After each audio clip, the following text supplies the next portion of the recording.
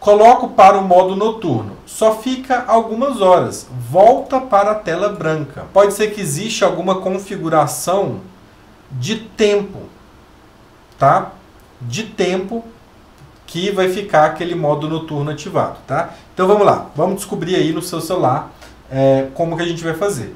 A primeira coisa então, eu vou arrastar uma vez, vou arrastar duas vezes e localizar aqui no, na central de controle pelo botão do modo noturno. Então, vamos procurar ele por aqui. Tá, e aqui tá. No caso da Samsung, fica escrito modo escuro. Ok? Aí o que, que eu vou fazer? O que, que você vai fazer? Você vai apertar em cima dessa opção e segurar. Então, dá um toque e segura.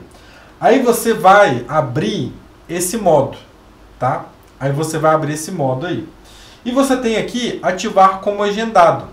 Para evitar interrupções, o modo escuro aguardará a tela desligar antes de ser ativado.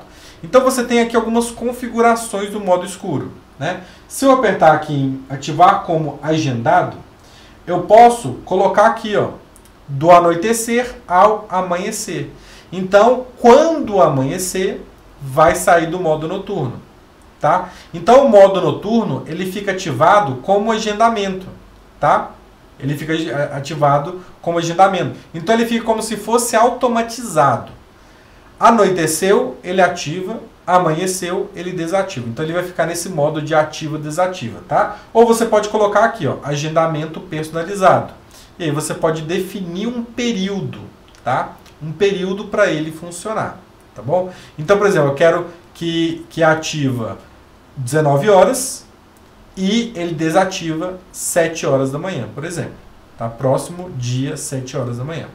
Então tem como você configurar isso aqui, tá? Então provavelmente essa opção aqui ativar como agendado deve estar ativado aí no seu celular. Então você precisa desativar essa opção, tá? E utilizar o modo, né, noturno vindo por essa por esse atalho aqui, ó. Ativou o modo noturno e aí pronto. Agora vamos ver se ele está ativado. Vamos apertar. Aqui, ó. Ele não está ativado como agendado, tá vendo? Eu ativei ele manualmente, ele não foi ativado agendado, tá? Então pode ser isso que esteja acontecendo no seu celular. Então você vem aqui e desativa essa opção aqui de ativar como agendado.